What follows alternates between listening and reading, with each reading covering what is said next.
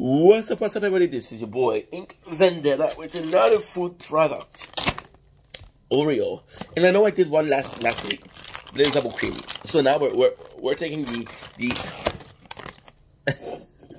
we're taking the, the perfect, the, the perfect combination between um, the bitterness and the cream.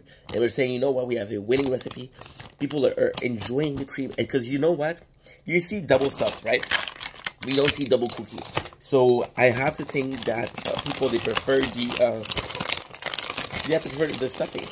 Uh, me, I don't really care.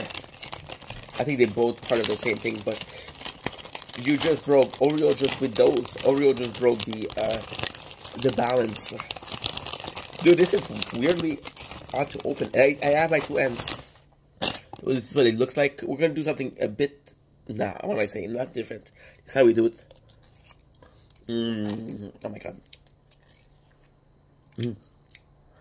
Ah. A lot more cream. And How you eat Oreos.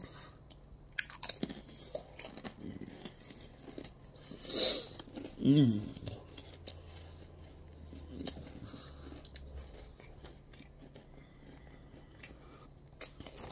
If you love Oreos, you love double cream. We're not reinventing the wheels. We're just working with what we have, making it better.